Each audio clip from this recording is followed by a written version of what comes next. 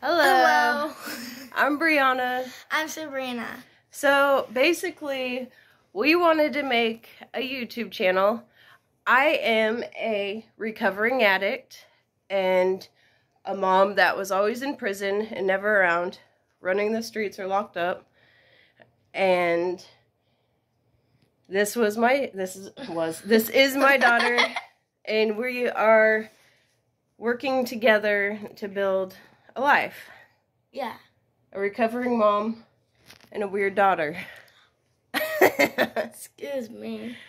but uh, we never had a relationship before because I was always gone, and now we do. So we Yeah. want to share with the world that it is possible to reunite and to stay clean and sober and healthy. we are exercising this morning before work. Yeah. And then we're going to go to a AA meeting, work with a sponsor, and then go out to eat since she has to do all that extra stuff with me. So we'll go do something fun too. and tomorrow I'm hanging out with a girl named Peyton. Um yeah. And I have to be on my best behavior. Yes, and no embarrassing me. Yeah.